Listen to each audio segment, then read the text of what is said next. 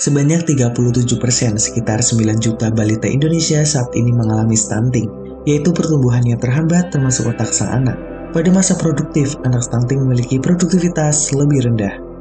Halo remaja Indonesia, saya Mahrusana Putra, muda, berkarakter, berencana, Duta Genre Kabupaten Pemalang tahun 2021. Dan sebagai Ketua PIK Remaja Masker, Kecamatan Comal, Kabupaten Pemalang.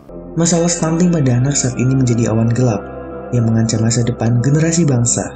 Anak-anak stunting rentan terhadap penyakit dan sulit berprestasi. Ketika dewasa, anak stunting lebih rentan terhadap penyakit diabetes dan jantung.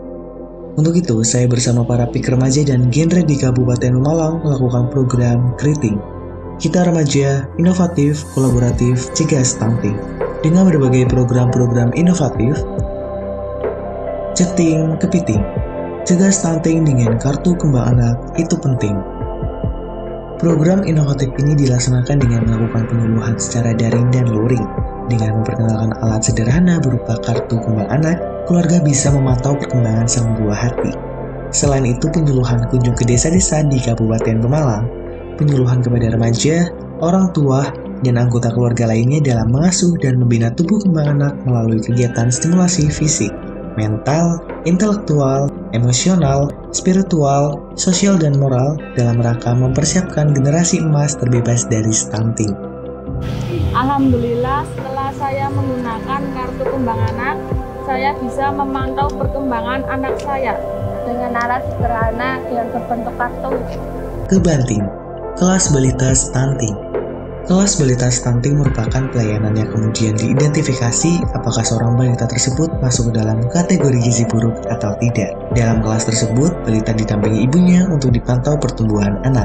Balita disediakan permainan untuk bermain dan ibu balita akan diberikan edukasi dan pemahaman tentang gizi untuk anak. Program kelas balita stunting tersebut dilaksanakan satu bulan sekali di beberapa desa fokus stunting di Kabupaten Pemalang. Sosialisasi produksi MBASI bubur daun kelor. Program ini kami lakukan di setiap desa di Kabupaten Pemalang.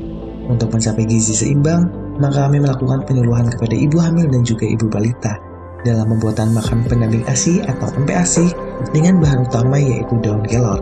Sebab, daun kelor yang banyak tumbuh di lingkungan kita mengandung nutrisi yang tinggi sehingga bisa mengatasi stunting.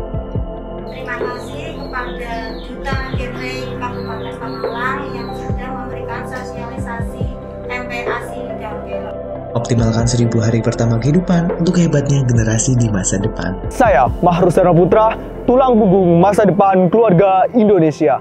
Salam genre.